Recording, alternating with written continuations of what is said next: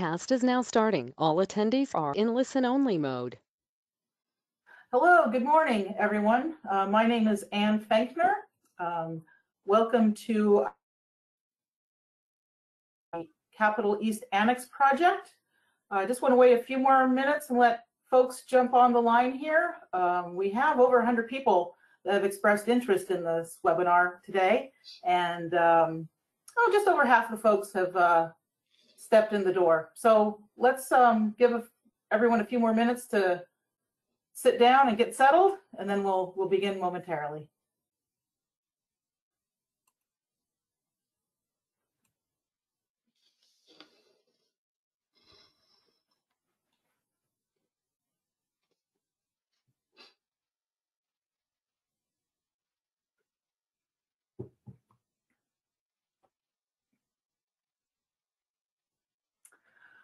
Okie dokie. Uh, well, again, my name is Ann Fankner. Uh, welcome everyone to today's presentation discussing the uh, California Capitol East Annex project and its impact on the park and, and the trees. Uh, this presentation is part of the Sacramento chapter of the California Urban Forest Council Learn at Lunch series.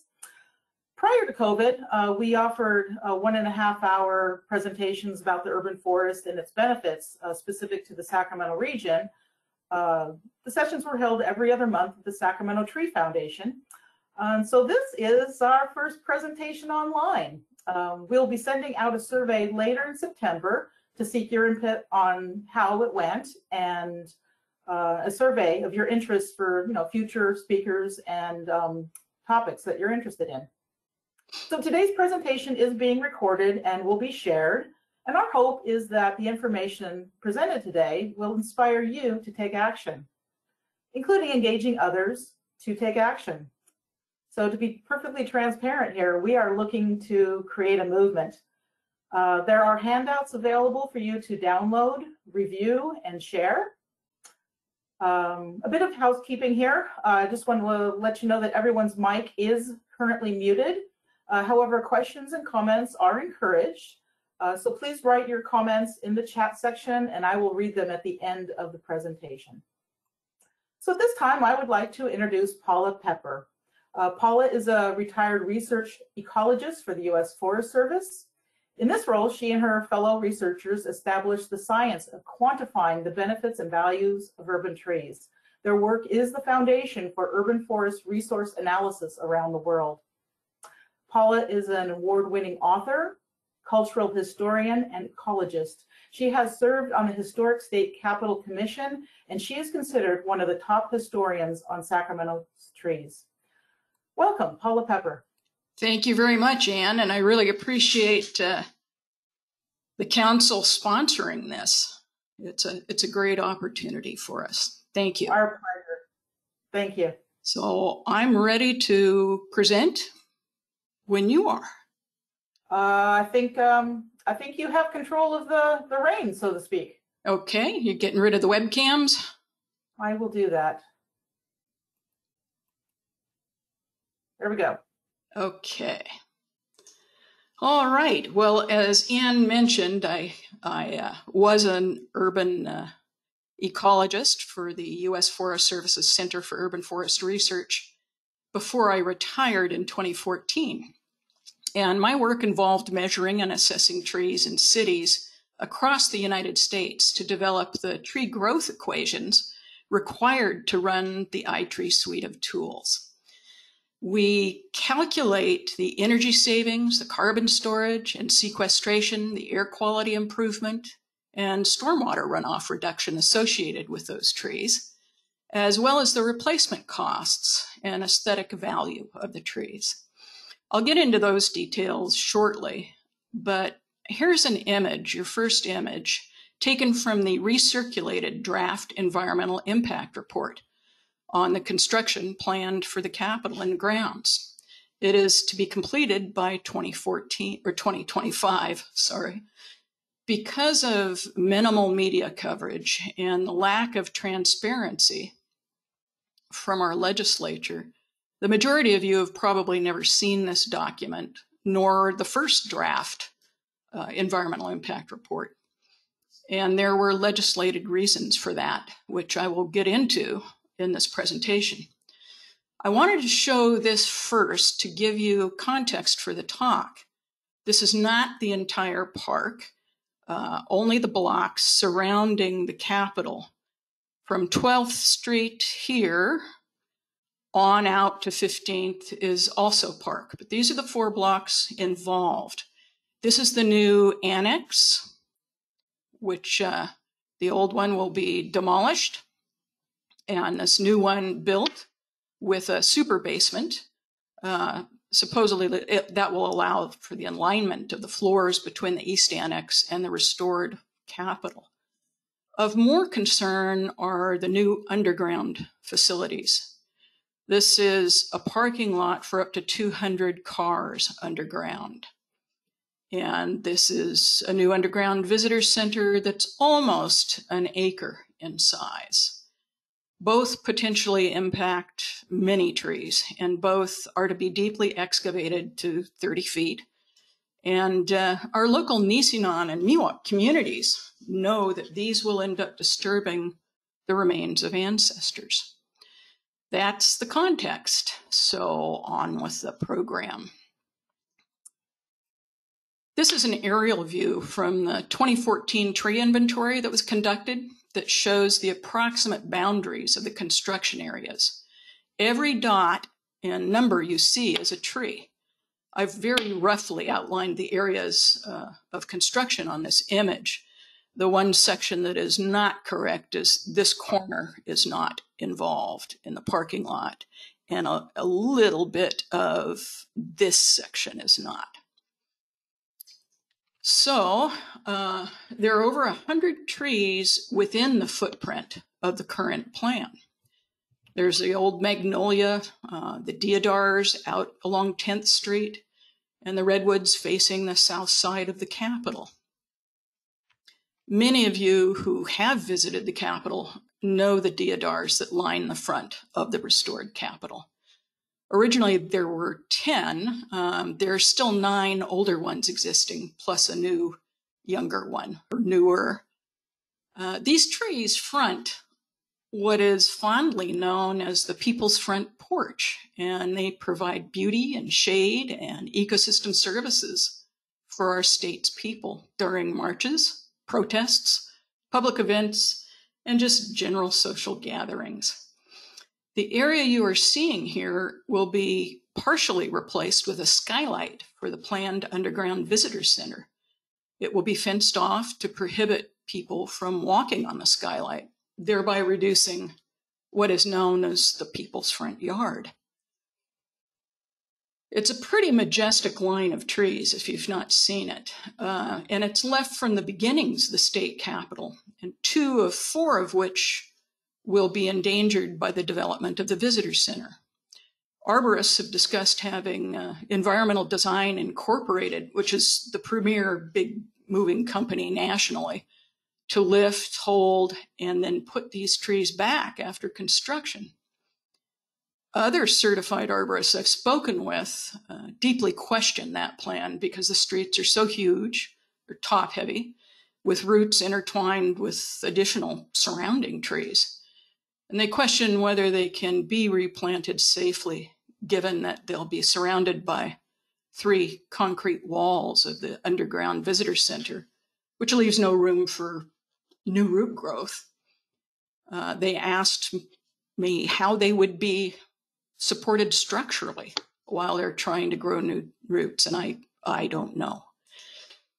So other trees uh, affected are this bunya bunya that was planted in 1882.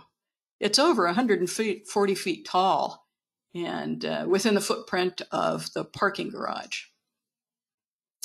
These tulips represent uh, later plantings in the park, both within the footprint of the underground parking structure, as shown on the uh, early map that I showed you.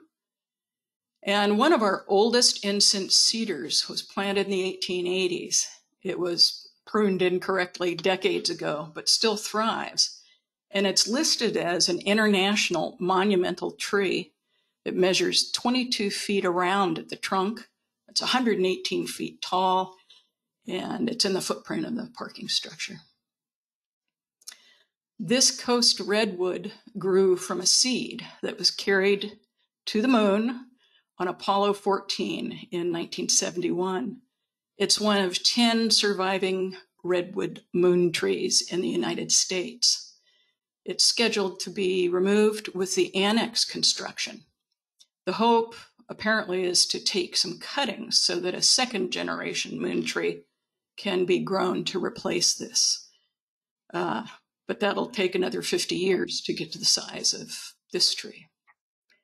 The Omnibus uh, Memorial Tree is also in that same section and looks very similar, except it's even larger than the moon tree. These four coast redwoods are on the south side of the East Annex, and they're part of a series of six planted, two of which are memorial trees. They're in the footprint of the parking structure. This Cockspur coral tree is the largest in California and also listed as an international monumental tree, measuring four feet, 14 feet around the trunk. It's also in the parking structure footprint. There's a huge old southern magnolia to be affected by the annex construction.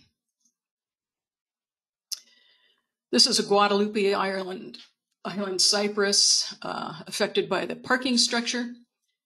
Uh, many of the older trees do not have a known history of being successfully lifted and transplanted elsewhere. Conifers like this one are unusual and they've rarely been lifted and replanted. Will all the trees be removed? How many will be removed? We, the public, do not know. Assemblymember Ken Cooley is the chair of the Joint Rules Committee, and we've been re- told repeatedly by numerous legislators and staff members that this project is really his baby. Everything goes through him. But the most, uh, the environmental reports have told us is that from 20 to 30 trees will be permanently removed. Again, which trees? Another report said that 65 trees would be removed. Which trees and which will be, you know, just moved and replanted and where? Huge old trees, even if they can be moved successfully, cannot be placed on top of an underground facility because of the weight restrictions. So let me give you a little bit of the history about our Capitol and the park. I'll actually start prior to European history in the United States. Our Capitol grounds were originally home to the Nisenan Indians, some descendants of whom, through incredible perseverance, are still with us today. The Indian populations west in San Francisco and south had already been decimated by the mission system established by the Spanish. But in 1832, John Works led his Hudson Bay Company, fur traders, through the Sacramento Valley. His men carried malaria and other diseases. And within a year, entire Indian towns that were suddenly inhabited or were suddenly uninhabited. By 1833, 75%, 20,000 Indians had died where our Capitol today is, had first been a large Nisenan village. The Act for the Government and Protection of Indians was then passed by our very first state legislature in 1850. And it actually legalized enslaving and also killing the Indians, anything but protection. Sunday hunts were organized here in Sacramento to bring back any part of an Indian for a $5 reward. It was also funded by the legislature. Federal legislation continued to decimate the Indian population long after that date. But the amazing perseverance of the tribes remaining here today is incredible. And their issues with the Capitol construction should be heard, met, and honored at our state capitol. They expect the remains of ancestors will be found. The Capitol itself was built between 1861 and 1874. it was outgrown by the 1920s. So the State Library and Courts buildings, uh, which are west of 10th Street, were constructed. And 70 years after the Capitol was completed, it was again too small. So the famed architect Alfred Eichler was called in to design the East Annex, which was completed in 18, or 1952. From 1975 to 1981, the original Capitol was restored. So today we refer to it, or I'll refer to it as the restored Capitol. 70 years after the annex was completed, it seems it's again too small for legislators, legislators and their burgeoning staff. And years of benign neglect have led the legislature to want to tear it all down and build a newer, better building. this is something that many of us question because a capital eventually will again become too small. And then will even more of the Arboretum, a centerpiece to our city and state, be reduced? One possibly good thing I think that we've learned with COVID 19 is that state workers can work effectively from home. And there are eight other states where the legislature is not housed in their historic state capitals. One of the most important aspects of our Capitol is the landscape, the beautiful big trees. This park was planned from the beginning to be a showplace featuring trees from around the world. And these trees have also suffered and apparently will suffer from alternating waves of care versus neglect. They have suffered neglect from our legislature for years, given there is still no park management plan and no tree management plan. So let's just take a quick look at some of the history behind the Arboretum itself. This was very well planned from the outset to be a world class arboretum, one of a kind, thanks to the remarkable Mediterranean climate we have here in California. The first trees were planted in 1862, but by 19 or 1878, papers were publishing this article that showed the plan uh, for the entire park and actually listed every single species that had been or would be planted. And here you can you can see the original terraces that were around the park and in the extended part of the park was the state agricultural building and a horse race track. You can see a few vestiges of that still today. Uh, but back then, the state fair was held here annually.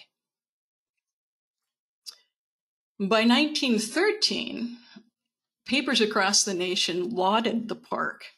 This article is from the San Francisco Call, later the Chronicle Examiner stating that there is a tree from every nation on earth. But similar articles appeared in Eastern newspapers about our park, including the New York Times. And really, um, the Arboretum is, is still thriving. Uh, it has 210 species of trees in one 40 acre location, but nearly half of those species are represented by only one tree. We've needed a tree management plan to figure out removal and replacement as the trees age and eventually have to be replaced. There has never been such a plan, not since 1878, although most major arboretums have them. So I'm hoping this will work uh, online but I accepted the appointment to the Historic State Capitol Commission in 2014 because my understanding was that part of our job was to create a master plan for the park grounds. And I knew a good tree management plan was needed to add to that plan. So many of the trees were suffering from drought mandated water reductions. If you remember, um, Governor Brown really wanted the park to be an example of water conservation. But cutting off water instantly had a horrible impact, and particularly on the conifers. Since the uh, Legislative Joint Rules Committee wouldn't allow us to create the master plan, I went to work with ground supervisor Mike Nielsen to create a list of trees we would need within the next 10 years. I'd find the seed source, Mike's budget would pay for seed and sealing, seedlings, a little each year as his budget could afford, and the UC Arboretum Teaching Nursery joined us and agreed to propagate and properly grow the trees. So this is a little video, and let's see if it will play.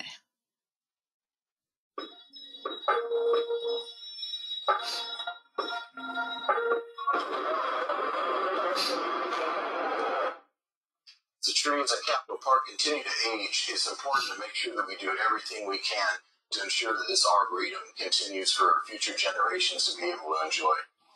With the drought, uh, we lost almost 10% of the forest here, the trees in Capitol Park. And that was a, a huge concern because this has been an arboretum, uh, a botanic garden established originally in 1875, and then uh, the park itself started being planted out in 1878. There are 210 unique species of trees in this park. 97 of those only have one specimen, which is true of most arboretums. But we began losing so many, especially the conifers. We're now in partnership with the UC Davis Arboretum and Teaching Nursery. They are just doing a fantastic job. So we're starting a lot of the plants for the Capitol by seed because they're really a lot of them are unusual. They're not commonly found in the trade, and so we have to send them from seed because they're not easily accessible. That's why we've got so many are at little tiny stages. It'll take years for them to get to the point where we can plant them out. But it's really exciting for us to be able to get to work with this project because they're unusual plants. It's a unique opportunity.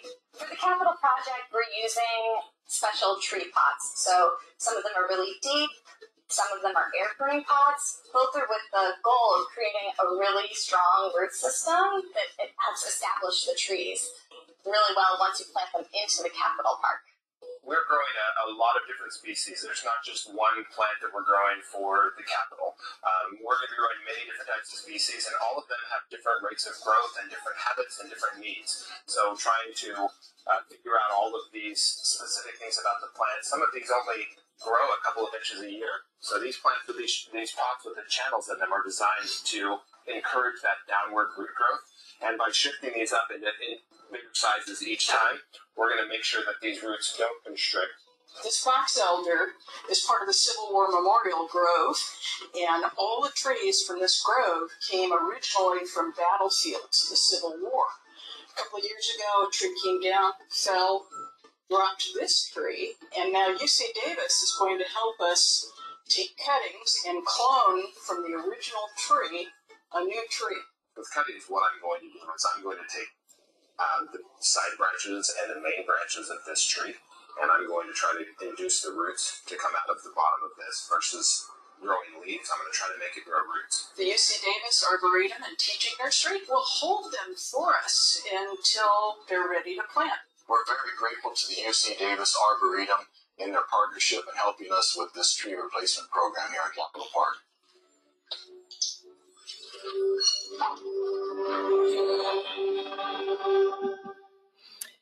So you can uh, see some of the species right there that we are growing, and uh, we've made some progress, but the project is really limited by the lack of funding to G- DGS Capitol Park grounds for much of any new tree seed seedling purchases. Mike Nielsen and Valletta Campbell with DGS do the best they can with the budget they're given, but uh, neither the Joint Rules Committee nor the legislature have taken a deep interest in perpetuating the park as the arboretum it was created to be. So, another effort that I made in working on the Historic State Capitol Commission was to create a presentation on the ecosystem services and the challenges facing the park's trees today in hopes of creating a tree management plan. The commission voted to support the plan, but Chairman Cooley of Joint Rules said we'd have to wait until all construction was completed in 2025. Today's presentation is solely on the ecosystem services provided by the trees that may be affected by that construction. Again, uh, the presentation is based entirely on the only public information available, the draft environmental and recirculated draft environmental reports. This is the tree inventory map, a rough of it, and these are the four zones of the inventory that will be affected uh, within the construction area. So what ecosystem services do these trees provide? And what are the ecosystem services that I measured? First, trees save energy in various ways, from direct shading of buildings to cooling the air through transpiration, thereby reducing temperatures, shading paved surfaces, reducing wind speed. We use air conditioning less due to these cooling effects, which reduce the ambient air temperature. And as a result, less power is drawn, and energy savings reduces power plant emissions, thereby improving air quality. Energy uh, use includes here both gas and electricity. And the greatest loss uh, in benefits, as this shows, will be associated with to southeast and to southwest of the park, where the underground parking lot is planned and also the southern half of the visitors center. So um, the trees save 18.4 megawatt hours of electricity every year, enough to power for 24 hours 252 homes. They reduce natural gas consumption by a very small amount of 99 therms. trees absorb gaseous pollutants through their leaves and uh, they filter small particles out of the air, which has been pretty helpful with the fires lately. And they convert the pollutants to produce oxygen and volatile organic compounds. They also shade paved surfaces as well as parked cars along the streets surrounding the park and thereby reduce uh, evaporative hydrocarbon emissions and the formation of ozone.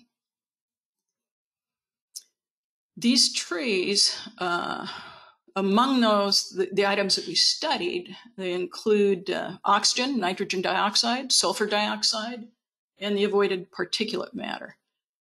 Plants also produce, as I mentioned before, biogenic volatile compound emissions, which contribute to global warming. These trees improve air quality by removing 198 pounds of air pollutants every year. Carbon storage is pretty interesting. Um, trees capture and store carbon dioxide in their wood and leaves as they grow. In fact, if you removed all the leaves from this tree, then dry out all that tree's wood, half of the remaining weight is stored carbon. Of course, when trees die, they decompose and release carbon dioxide, unless you do as Assembly Member Cooley did and arrange for the wood to be salvaged from recently war- fallen Civil War memorial trees and turned into usable items like furniture. Then it remains stored. Tree care activities also release carbon dioxide. The trees in this study, as you can see on the left, have stored nearly 610,000 pounds of carbon in their wood. If these trees are lost, so is the carbon they've stored. And they capture every year 33,800 pounds of atmospheric carbon dioxide, reducing the amount of CO2 that goes into the atmosphere. Has a clear impact on global warming in our community. And large trees that are lost or removed and replaced um, or replaced.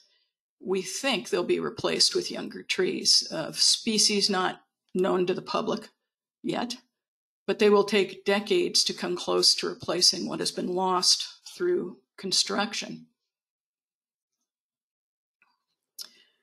Trees also reduce runoff volume, the peak flow and flow duration that go into our gutters and, and uh, into the rivers eventually, but they slow down the flow and promote infiltration and evapotranspiration, also improving the groundwater recharge and reducing the incidence of combined sewer overflow.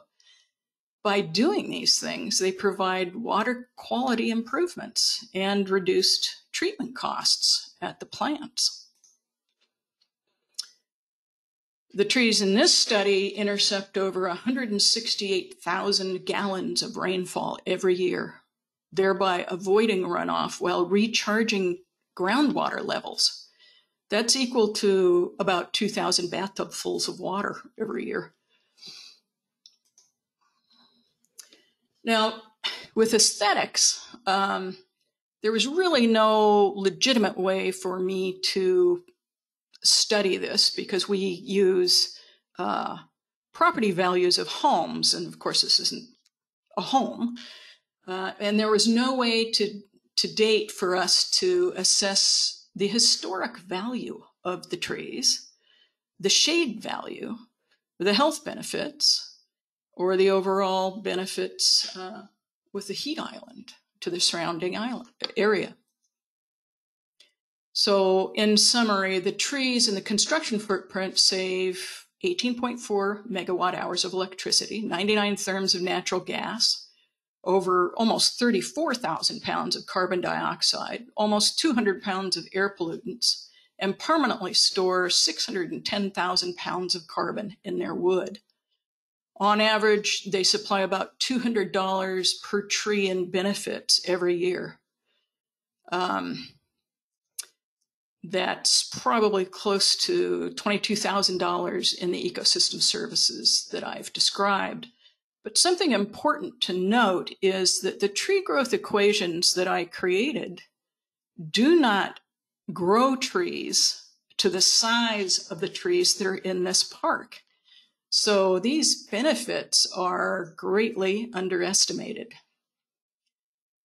There are 30 large and some unique trees historical trees that provide the most benefits. Among these are, you know, the 11 redwoods, bunya bunya, deodars, incense cedars, um, and the rest that you, you see here.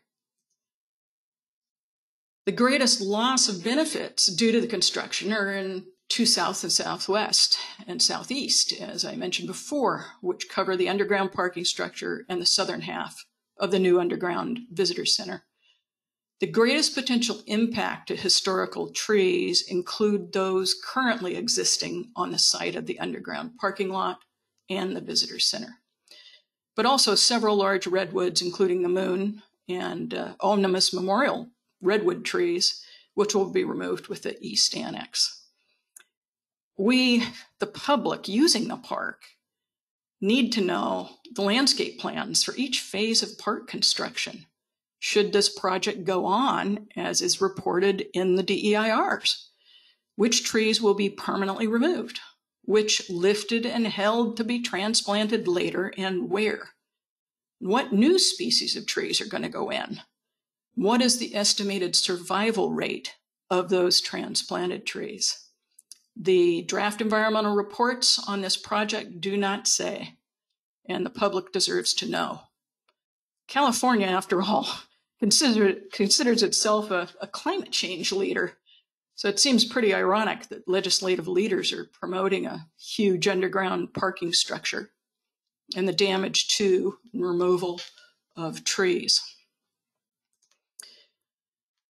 So lastly, regarding benefits, take a look at an aerial of canopy cover taken a few years ago by the Bureau of Land, Land Management. They did the entire canopy cover in our city but this is an enlargement of the Capitol Park section. You see the entire park here, and you see already that there are many fewer trees surrounding the Capitol than in the other areas. So, you know, if they put the parking lot to the south, they can't place large trees, as I said, on top of the facility. The, the weight is too much. The visitor center actually has more trees than are shown on this. The magnolias in the in the first terrace aren't don't show up on this. Uh, the bunya bunya, the tulips, all of these um, and the removal of all these will increase uh, air temperatures outside. So, um, Mr. Cooley's staff have put up a website, and please copy down this address and really take a look at it. It's available to you all. Um, most people don't even know about it, but the address is on top, and uh, you can access info under the first capital link on how bad the current access is safety wise. And that's true after many years of what California State Preservation Societies term benign neglect. The State Office of Historic Preservation has still not received any documents to review on the new planned construction, and that's required under state law. If you scroll down on that landing page, you can see a more recent addition uh, that's on the Visitor Center. After months of not much activity on this site, it's interesting that now there are changes as we've pushed for more information. But the new Visitor Center section has no mention of its size, nor that it will block a large section of the people's front yard where we gather to protest and celebrate and hang out. Blocked because, you know, of the skylight that I mentioned. And uh, in the DEIRs, there are no artist renderings, nor on this website are there artist renderings of any of the structures that will be built.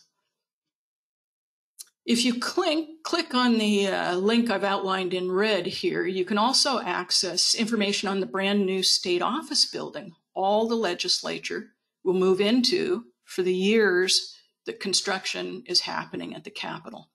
It's at uh, 10th and O Street, right behind the Legislative Office Building, and it's progressing rapidly as the legislature passed laws that said they didn't have to go through a bidding process that the rest of us and the state has to in order to build.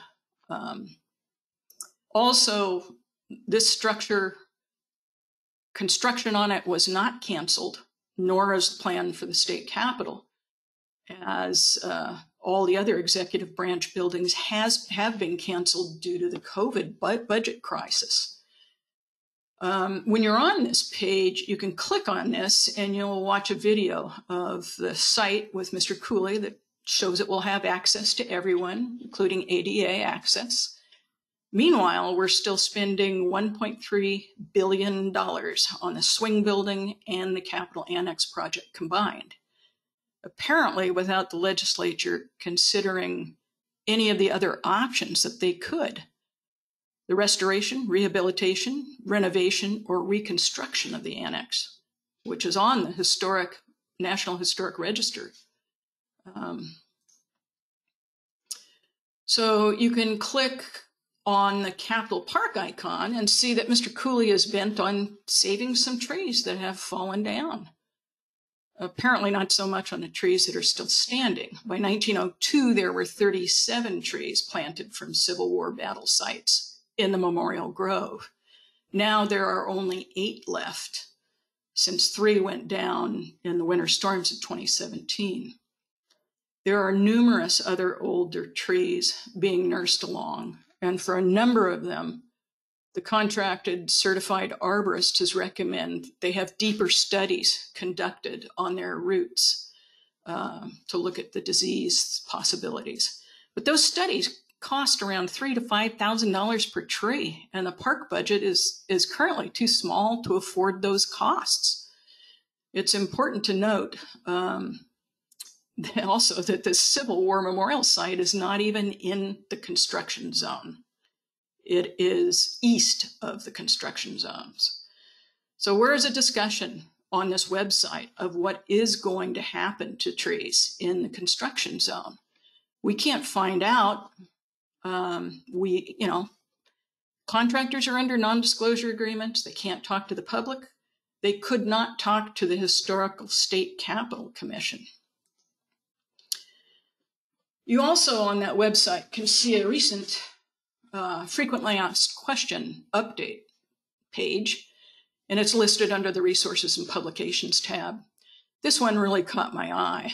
Um, The concerns about the number of trees impacted appear to be based upon the unfortunate assumption that the entire area as shown in the EIR will be the actual footprint used for the project, which is not correct. Look, the public only has the draft EIRs at our disposal. And if they don't describe what and where construction is going to happen, why not? What is correct? Where will buildings go? Isn't that what EIRs are all about? Where will the parking lot end up? Any place else in the park impacts even more trees. It's really time to provide the public with the entire picture before a single shovel hits the ground and give us the costs and who and how we are going to pay for them now with COVID and fires wreaking havoc with our state budget, not to mention our personal budgets. So, how is this happening? How did this come about? It started well before 2016, the year the first legislation for the project was passed. It had to be planned. But the first any of the public could have any knowledge of it would come really pretty much via the media. But even the media did not or does not know or report the extent of the project. There's been minimal coverage statewide, let alone in the Sacramento region. Four main pieces of legislation were passed for the project. Senate Bills 836 and 840, and Assembly Bills 1826 and 2667. You can access parts of those bills on Mr. Cooley's website. So, what did they allow? These bills authorized and funded the project. They authorized the construction of a no bid swing building. They authorized the annex, parking structure, and visitors center. But what is interesting to me is AB or Senate Bill 836 states that they may pursue the construction of a state capitol building annex or the restoration, rehabilitation, renovation, or reconstruction of the state capitol building annex. So, more things that they allowed is they changed the regulations for the final EIRs and the draft EIRs. They reduced the time that the public has for input on these. They also provided California Environmental Quality Act relief, which has ended up greatly reducing the ability of any of us to contest this project in court. It exempted the legislator legislature from contracting regulations that the rest of the state has to go through. They don't have to get bids. And it insulated the project from future budget uncertainty. So if if the budget if some budget crunch happened, which now it has, unfortunately, the funds were would be returned to general funds, but then automatically projects would be funded by revenue bonds. That adds uh, another 30% in interest over time to the cost of the project. A little bit more about the Historic State Capitol Commission. Um, it's made up of two Senate and uh, two Assembly and three ex officio members. The ex officio members are the state archivist, the state librarian, and the state historic preservation officer the latter of which, as I mentioned, has not received documents on the project to review as is required by law. Our job was to protect historical and architectural restoration in perpetuity. In 2012, we were also statutorily obligated to take care of the park and create a park management plan. But as this project went on, many of us have resigned. One actually resigned uh, almost two years ago, hasn't been filled by the legislature. Uh, another member left. She had to move uh, to another state in 2020, April 2020, and that hasn't been filled. But March 16th and March 17th, I resigned, followed by the chair. And at this point, there's barely enough people to fulfill our statutory obligations given lack of a quorum. But, you know, Mr. Cooley advised us um, that we would need, as I said, to wait until after new construction, five years, to do the park management plan. We requested lots of documents and they were denied by the Joint Rules Committee, of which he is the chair. Anybody who came to speak to us either said they didn't know anything or they were under non disclosure agreements. And our meetings um, with Mr. Cooley produced no more solid information. So, in frustration, Dick and I decided we actually might be able to do more if we resigned from the commission and could actually start letting the public know about the secrecy surrounding this project. So we have, with a large coalition now, created public accountability for our Capitol. The email address is there. It's essentially pacannexproject at gmail.com. And you can reach us at that. We've recently submitted uh, more Freedom of Information requests for documents regarding the analysis of preservation versus demolition if it was done, and uh, also the massive rebuilding, and these are required. We've requested public documents on which the vote to demolish the annex was based versus renovating it and rehabbing it, and also documents uh, on the spatial needs analysis. We really want us the public paying for this project to be able to view everything and voice our opinions. We have spent months speaking to legislative members and staff and working to alert the public. Please contact this email address if you would like more information.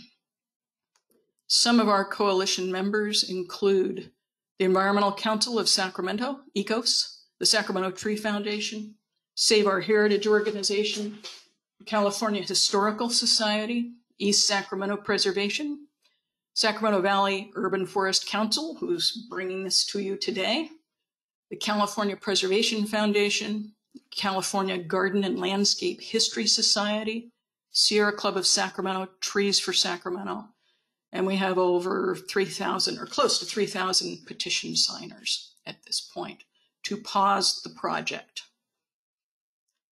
Today, we're facing so many more issues than we did a year ago.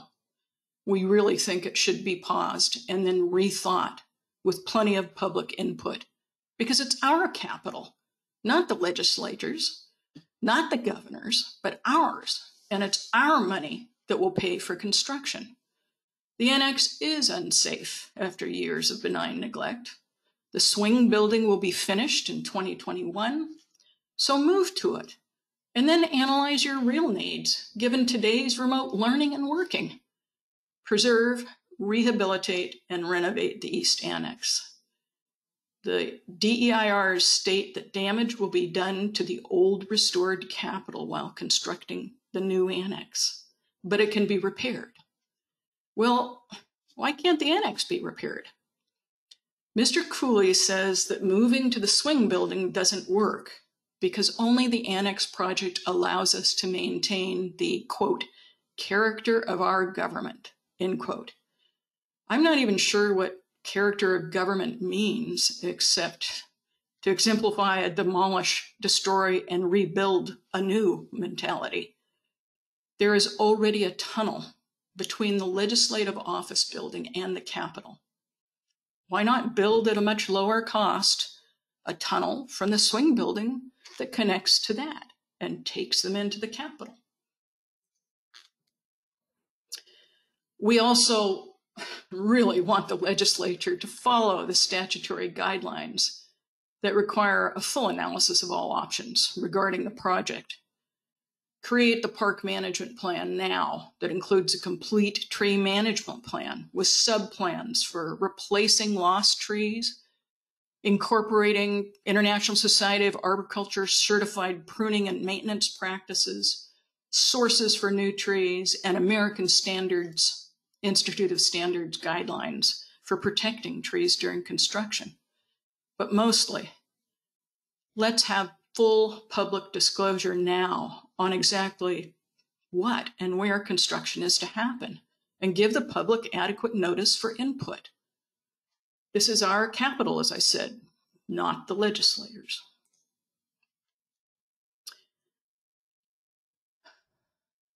So these are what's at risk. The historic East Annex will be destroyed and replaced.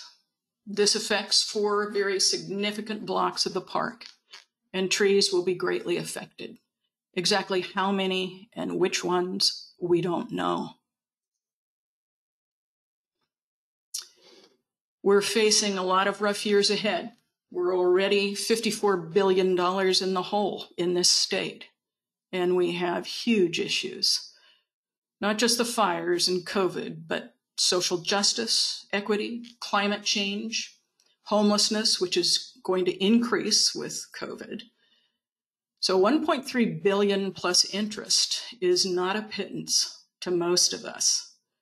The capital itself is 755 million for the parking lot, visitor center, and annex restoration. If you add as a legislative office or analyst office states, uh, there's an average 30% interest on revenue bonds. So that brings our cost now just for this construction to nearly a billion dollars over time.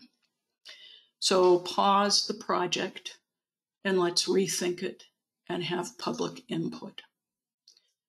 If you're upset by the plan, speak up.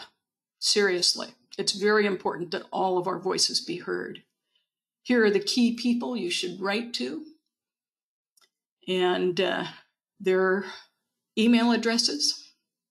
Anne will also post, or she already has, uh, posted a complete contact sheet that has snail mail and email addresses and phone numbers for these people. So we suggest that you both call and mail them. People who answer the phones tend to keep records of who calls and why and on what subject, and if you oppose or are for it. So she'll post various other handouts on the project too, which will give you additional information. That's all I have, and I'd like to thank you very much for your time and your interest in this. Paula, thank you. Um, I've just activated my camera. If you could do the same, please. As you can imagine, um, there's quite a few uh, questions and comments.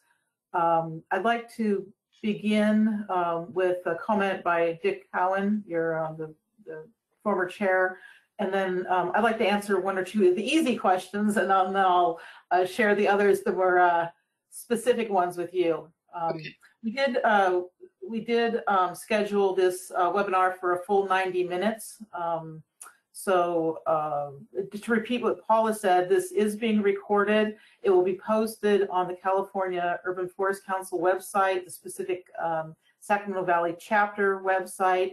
Uh, it will also be on our Facebook page. Uh, as well as this um, presentation, we have been featuring specific trees that Paula mentioned in the presentation in a little more detail on our Facebook page. So that has been leading up. There's about 15 of them uh, with more details.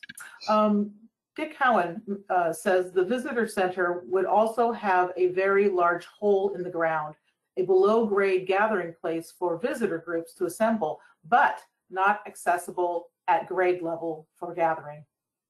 Thanks, Dick. Um, uh, let's see, somebody, a couple people came on late and asked if it's being recorded. Yes, I think I, I just addressed that about the um, what distinguishes a monumental tree, and the answer is it's specific to the species. It could be um, the tallest, the biggest, the oldest, and um, it depends on that specific tree. invite you to uh, go to memorialtrees.com, and that specifies um, thousands of uh, international uh, monumental trees. Okay, Paula, are you ready?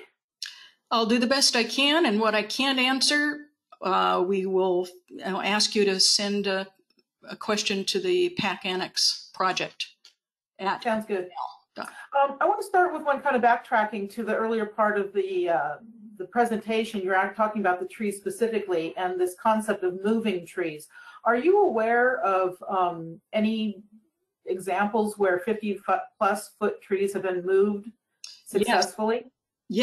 Um, and in fact, the company that I mentioned, uh, Environmental Design Incorporated, has very successfully moved some large redwoods and a large oak. Um, I'm not sure they're trees that are 100 feet tall and better, though, um, as these are. Um, Michael Neumann is the urban forester for the city of Roseville, and he writes, um, I think you've addressed the piece of this, but I'm just going to read the question in its entirety. Are there any consulting arborist firms involved in this project that support the state and have any reports, designs, or alternatives been shared from these firms with the public? Have the reports been requested? Are they part of the EIR? The reports are not part of the EIR. Uh, we have asked repeatedly for the landscape plan reports. Um, and there is a, an outstanding firm that has been involved in this project. Um, Ed Sturts and Gordon Mann are part of that. And they're excellent, you know, ISA certified arborists. Um, but they're under non disclosure agreements, or they were for. Uh, all of us to talk to with the Historic State Capitol Commission. Um, Gordon Mann uh, asks, how much money is needed for the DGS to develop the other 17 trees or more if needed? Has that been evaluated, Paula? Yes, um, we're looking at probably, well, there's two issues here. Um, for the other 17 species, it will cost um, pretty close to $3,000, which is a pittance, but Mike is also under state purchasing um, restrictions. And so he can only go to local businesses. And so we've had to work to find local businesses that would order the seed for us or order you know seedlings or the trees for us. And some of which uh, seed that has come from the boston arboretum and other places i just paid for myself because mm-hmm. it was not that much. Does that answer the question enough? Um, if not i'll ask the uh, person who asked it to reformulate the question a little bit. Okay. Um, it seems like it would make sense to have a plan for all the trees in the Capitol area. Is there any requirement for a tree plan for the larger area? No. The on requirement, right? No, but there is a requirement for the master plan for Capitol Park. And part of that, the Historic State Capitol Commission agreed would be a tree management plan. And that was voted and passed on by the park. And Mr. Cooley actually agreed to that, but in five years. Um, Gordon Mann actually uh, listed another question that's a follow-up to the question about propagation. Um, he's asking, um, what if someone else funds that that effort beside the state? Would that would that help in any way? And what might that constitute? You know, I think that would be welcomed but uh, you know we'd have to talk to uh, Mike Nielsen and Valletta Campbell and figure out how that can be done. Um, also, Gordon, you gave some good ideas about where this could be posted. Uh, for everyone, again, our intention here is to spread the net wide. So any resources, um, any groups that you belong to, we welcome the opportunity to, to share this information and I apologize for speaking so quickly earlier. Uh, this presentation will be is being recorded. It will be shared with all of you who are on the line right now. It will be posted on the California Urban Forest Council website, as well as the Sacramento chapter of the California Urban Forest Council website. Paula? It will also, uh, let's see, next Wednesday, I'm being uh, interviewed as part of uh, Randall White's um, Insight program. And they have said that they will post the entire presentation on their Capital Radio website as well.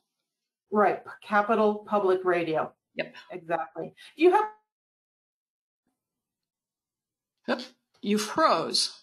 oh, sorry, do you know the time of that uh, presentation next Wednesday? Uh, I'm scheduled to begin roughly at 9:06. The program starts at nine, uh, but of course it'll be bumped if there's some huge big news that they have to cover. Oh, that's so 2020 of you. Yes. Every day, every day.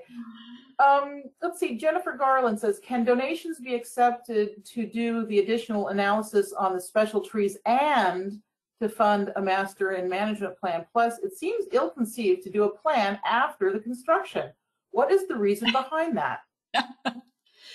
You know, we don't know. I mean, we explained to Mr. Cooley and uh, some of his staff members who uh, attended our meetings that um, these plans could actually help them expedite the entire process. It would not block the process. And, and we've been trying to create this tree management plan since 2014. Um, and the uh, overall park management plan. So, yeah, there was another part to that question, was there?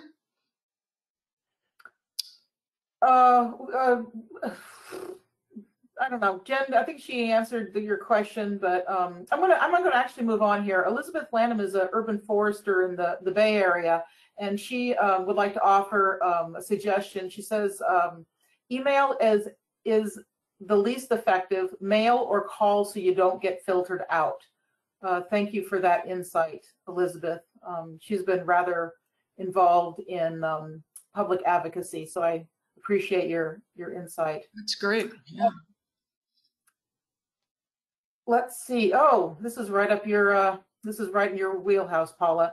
If the project moves forward and construction begins, what will happen to the artifacts and remains of the native Indians that are unearthed? You know, I can't actually answer all of that.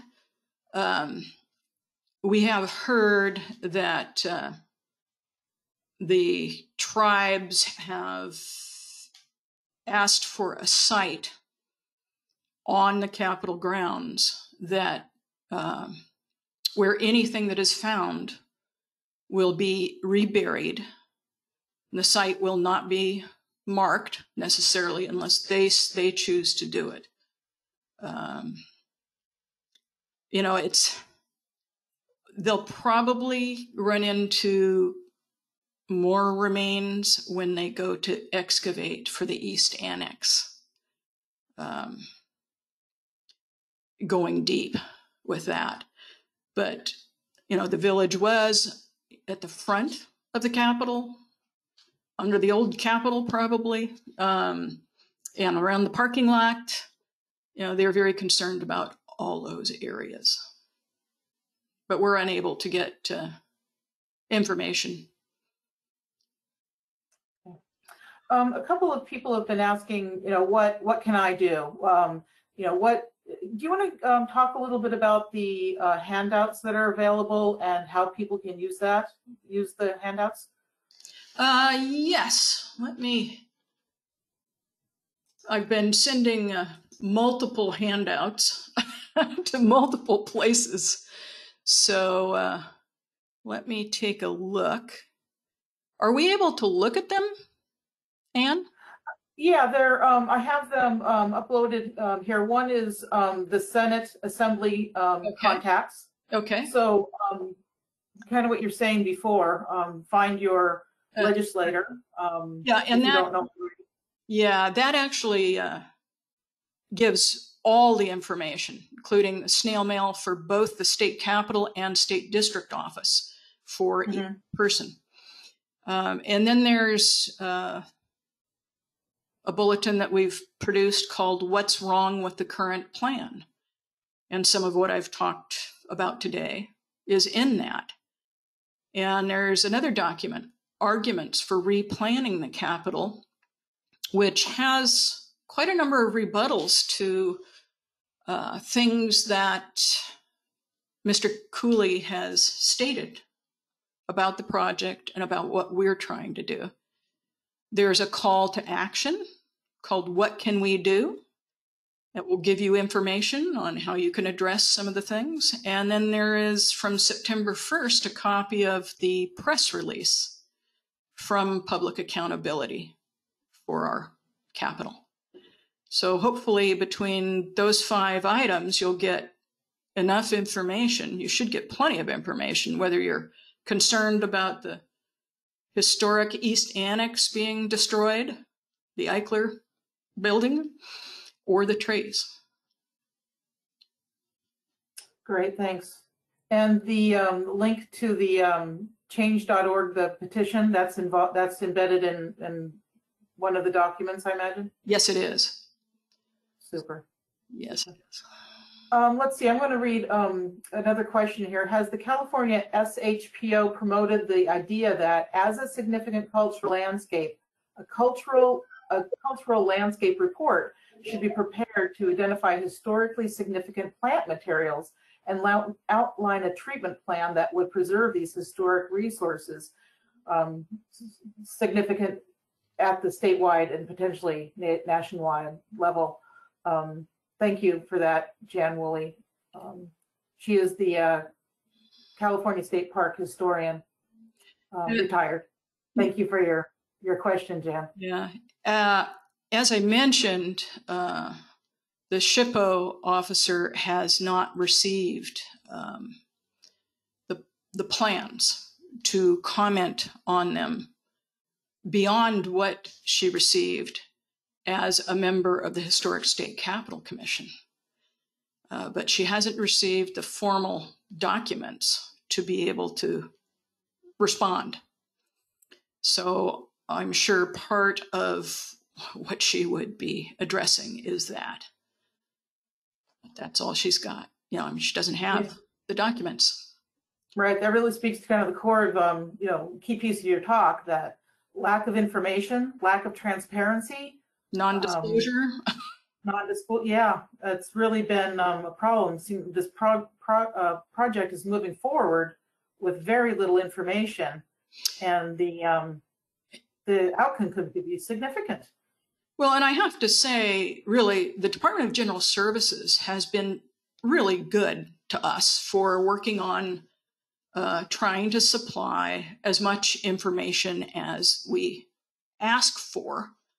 Um, but most recently, we've heard that it resides with the Joint Rules Committee, which Ken Cooley is the head of, as do the bids and the contracts ultimately. So, if somebody had 20 minutes to give of their time, what what one action would you recommend would have the most impact at this point?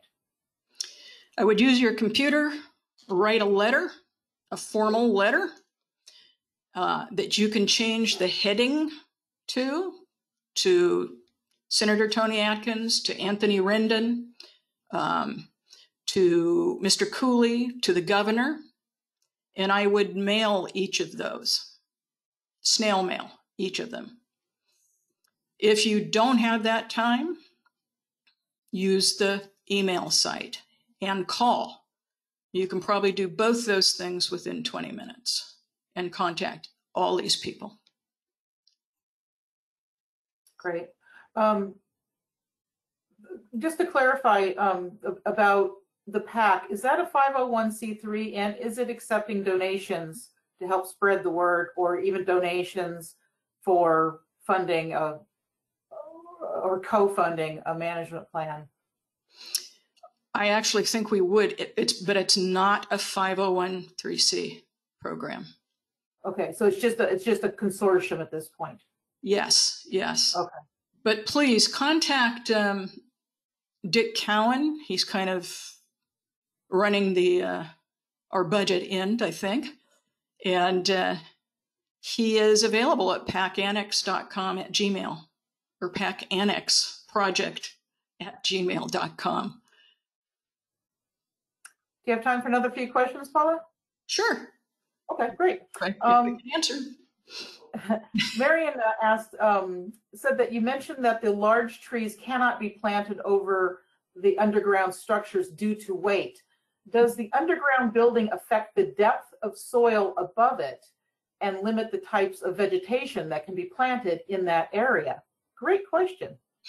Yeah, um, and I cannot remember right now how much soil is on top of those, but the the weight of the mature trees that we've talked about is too much, and it they would not go on top for a couple of reasons. There's rooting issues, uh, but mostly the weight constraints. When I worked in uh, with uh, New York City,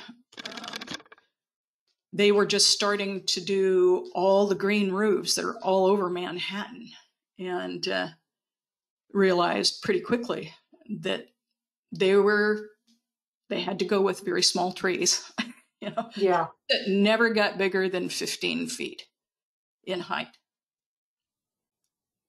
Yeah, I've noticed that on a lot of um, green roofs thr- uh, internationally. It's mostly grasses and Yeah. um, smaller smaller perennials.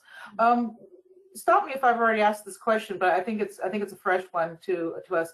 Um, is there evidence that these projects are related to or influenced by California OES and or Homeland Security oversight technologies and you know safety focuses?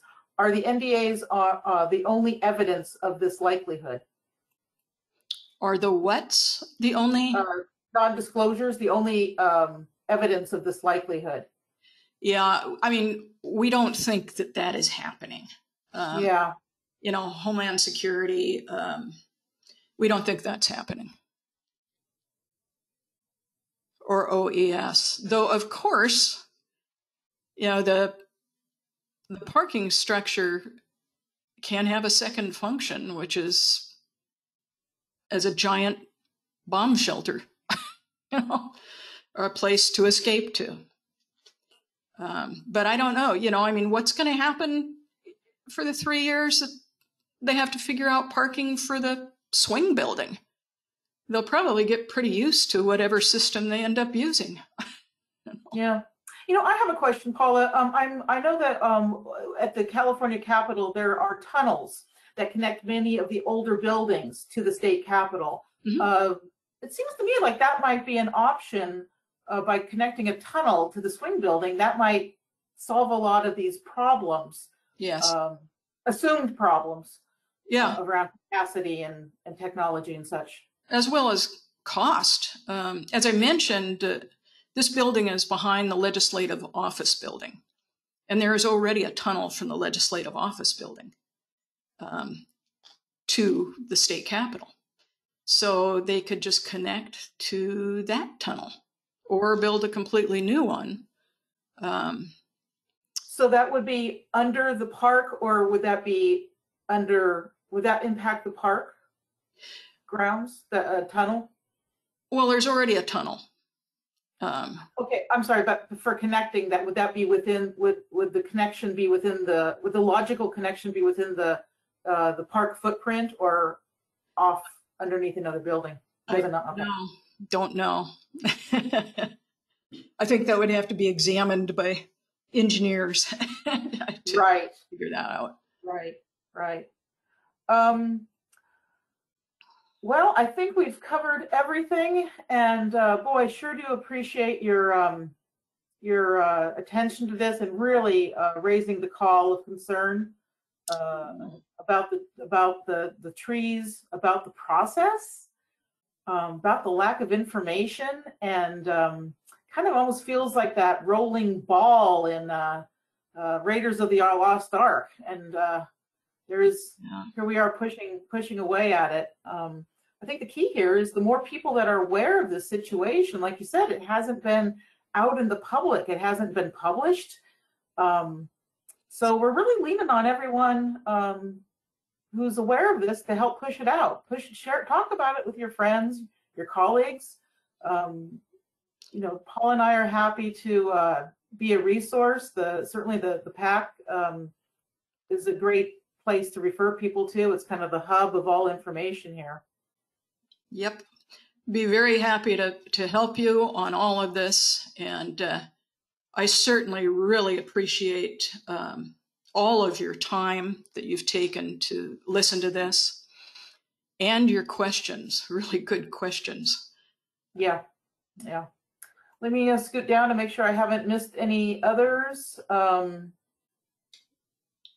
I think I think we've covered it. Uh, I want to thank everyone for their time and attention today. Uh, again, we will be sending out the recording uh, so that you can review uh, and share it with um, others that care about trees, care about the um, the legislative process, uh, care about transparency in government. Um, thank you all for your time, and Paula, thank you so much uh, for leading this effort. And we look forward to hearing you on the radio next week on the 9th on Capital Public Radio. Thank, Thank you, you, so much. And take care in this COVID climate. Bye now. Bye bye.